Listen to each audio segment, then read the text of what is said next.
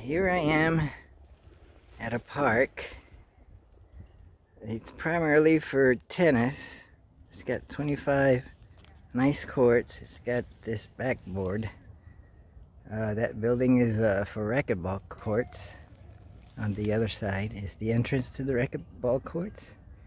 But on this side it serves as a wall for uh, tennis players to hit some against the wall uh, to warm up or to fine-tune their strokes and to exercise. I've been doing that, hitting against the wall. And now I'm still at the park. And uh, I also wanted to uh, take a few minutes to decide on what kind of painting should I do. I'm working, well, I put it on hold.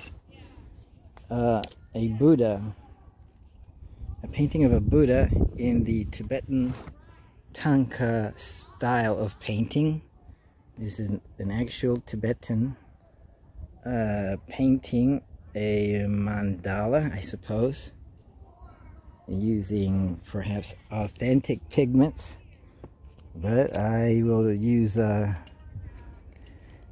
pigments that I have. Mm, they're commercial pigments. I like liquid Liquitex acrylics.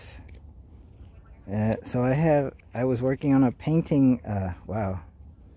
It's been maybe 15 years or more that I've been working on it. And uh, I think I used uh, this this um, grid grid chart trying to get the proportions right. I don't know.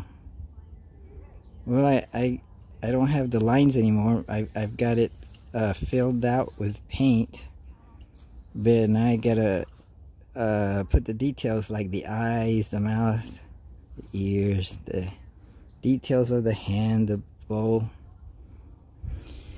Yeah, I was thinking of doing a medicine Buddha, but maybe it's easier to do a regular Buddha like this with his hands touching. Well, I'll have to see if, if the hands are touching the ground. Then if they are, then I do have to do this kind of Buddha. Mm and the decorations Whew, I don't know about that and the lotus petals around them so uh, yeah. Another one that I would like to do is maybe the goddess Tara. Hmm.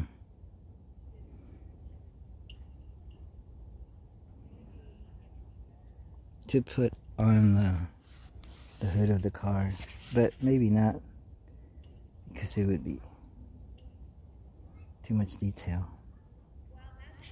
And I've never painted on a car, so I'm trying to figure out what kind of paints should I use. Uh, oils, acrylics, or enamel. I've never painted using enamel. Hmm.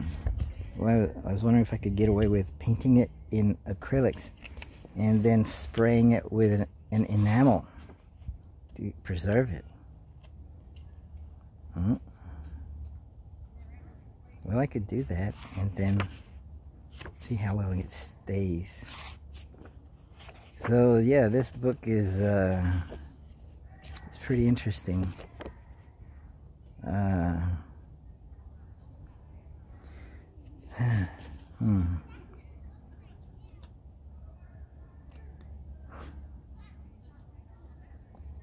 Hmm. It's it's got a lot of information. It says that Tibetan Thangka painting is one of the great arts of Asia. It is rich not only in its iconography, religious content, and stylistic development, but also in terms of the materials and skills that the painters and their patrons lavished upon it. Anyone examining even a small number of these fine old scroll paintings, which is known as Thangka, T-H-A-N-G-K-A, cannot help being impressed by the exquisite materials and consummate skill that went into their creation. Just what these materials were and how they were applied were questions that attracted our interest years ago. When, as college students, we first came into contact with Tibetan art. But when we tried to learn more, we could not get very far because the subject had not then been studied in much detail by Westerners. Therefore, we decided to get, go closer to the source and to learn what we could from the living painters of Tibet. So the, uh, these authors, David and Janice Jackson, went to find these uh, living painters of Tibet. So they found uh, this list uh, in alphabetical order. Dorje from Amdo Rekong, Dorje Drakpa and his monk brother from Kham Ling Chang, Dorje Gyatson from Western Tsang, Gompo from Kirong, Jampa from Lhasa, Hasa, Jamyang from Amdo, Kunsang Topye from Bhutan, Legdrup Gyatso from Pyeongyul, Nalendra, Lodin from the borderlands of Amdo, Losang Kidrup from Mongolia, Pema Kanchak from